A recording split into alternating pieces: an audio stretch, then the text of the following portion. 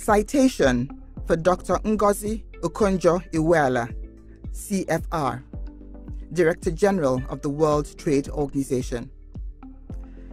Dr. Ngozi Okonjo Iweala is a Nigerian woman of many passions and firsts. She is an economist, trade leader, environmental sustainability advocate, human welfare champion, sustainable finance maven, and global development expert. She had an illustrious 25 year career as a development economist at the World Bank, becoming the managing director for operations from 2007 to 2011. She became the Director General of the World Trade Organization in March 2021, the first African and first female to be so appointed. She was Nigeria's first female Minister of Finance from 2003 to 2006 and notably renegotiated our foreign debt. In 2005, Euromoney named her Global Finance Minister of the Year. During her second term as Finance Minister, from 2011 to 2015, she became the coordinating Minister of the Economy, a position which had hitherto not existed. She was also briefly the Minister of Foreign Affairs in 2006, also a first. Her legacy is unparalleled in the public service.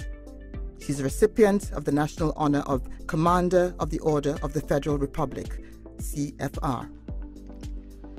Dr. Okonjo Iweala has received many awards and sits on the boards of a broad range of organizations, including Standard Chartered Bank, Twitter, Mandela Institute for Development Studies, Carnegie Endowment for International Peace, Georgetown Institute for Women, Peace and Security, Global Vaccine Alliance, Global Alliance for Vaccines and Immunization, Gavi, and the Rockefeller Foundation, amongst so many others.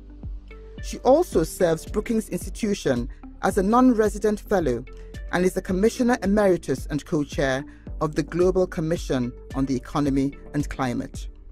She is a member of many other international committees and the founder of a development research think tank and opinion research organization. She's fully engaged. Dr. Okonjo Iweala is our WIMBIZ big sister, supporter, and advocate. She has been our conference chairman and keynote speaker.